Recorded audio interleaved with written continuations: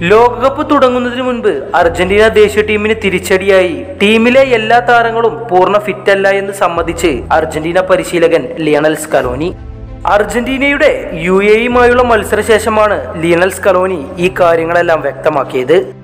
അതിനാലാണ് ചില താരങ്ങളെ ഈ മത്സരത്തിൽ നിന്നും മാറ്റി നിർത്തേണ്ടി വന്നത് എന്ന് സ്കലോനി വ്യക്തമാക്കുന്നുണ്ട്.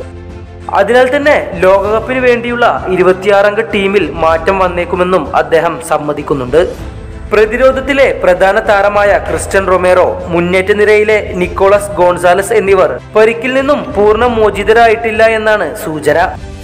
നൂറ് ശതമാനം ലോകകപ്പിന് ഫിറ്റല്ലാത്ത താരങ്ങൾക്ക് പകരം പുതിയ താരങ്ങൾ ടീമിലെത്തിയേക്കും. ക്രിസ്റ്റ്യൻ റൊമേറോ അടക്കമുള്ള താരങ്ങളുടെ അഭാവം അർജന്റീന ദേശീയ ടീമിനെ വലിയ തിരിച്ചടിയാകും സമ്മാനിക്കുക.